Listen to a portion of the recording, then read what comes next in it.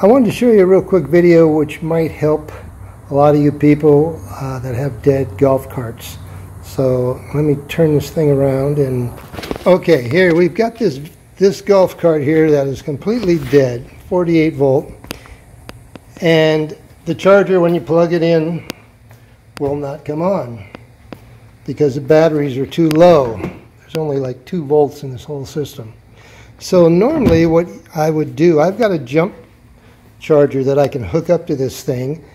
That's a whole different video, but this charger I got, matter of fact, we even sell them. This thing will even charge a rock. You need zero volts to energize it, but it's 48 volts. And I normally plug mine into this cart. As soon as I plug mine into a dead cart, it comes on.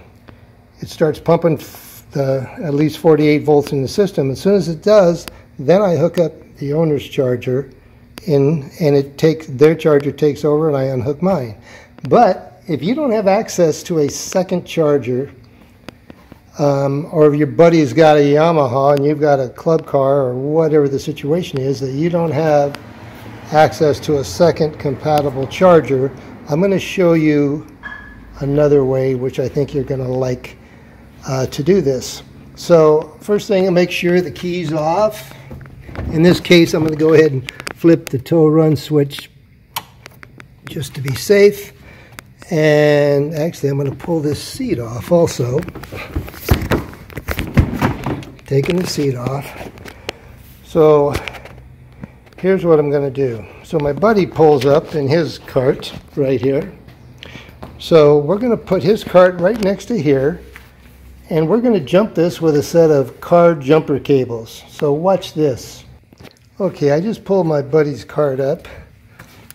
I'm going to turn his key switch off. He has a run tow switch, so I'm going to flip this into tow.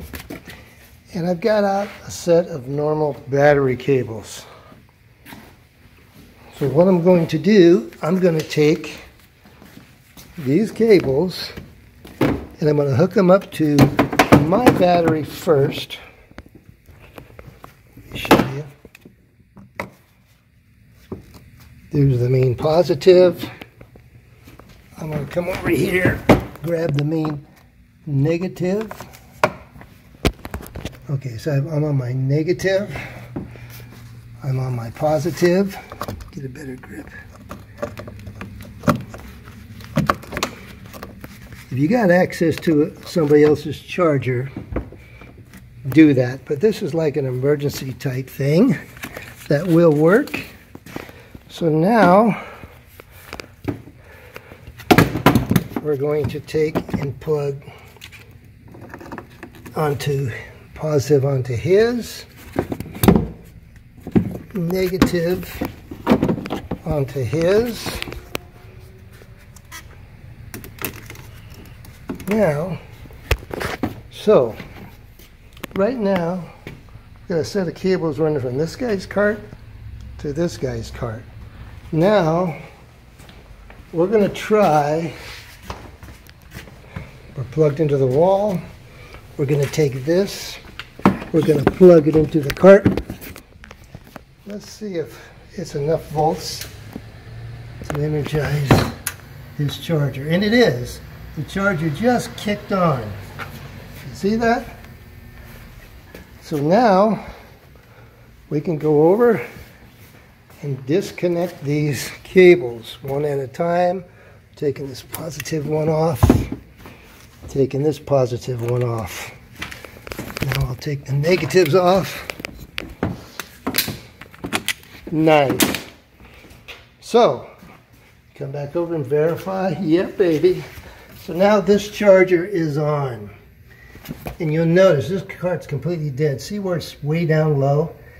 It's going to the charger's on. It's going to charge for an hour or two down there, and it'll slowly raise. It'll slowly go up in the amperage, but leave it on, and this cart will charge by the use of these jumper cables. Um, a lot of people don't know that. if you don't know what you're doing, don't try it that way, but it is a way to do it when your only other uh, carts you got available is some other brand and you don't have two chargers of the same light that you can do this to, you can do it with a set of jumper cables. Um, I've done this where I've jump started 36 volt carts from a 48 volt cart with jumper cables. I just go to three batteries instead of four, but uh, I don't advise that. But anyway, hope you like this video. Uh, subscribe to our channel. We have an eBay store up. You can buy parts. You can send me questions. I get a lot of them questions, and I do appreciate them. I will answer them. So we appreciate it. This is from Wayne's Golf Carts, and have a great day.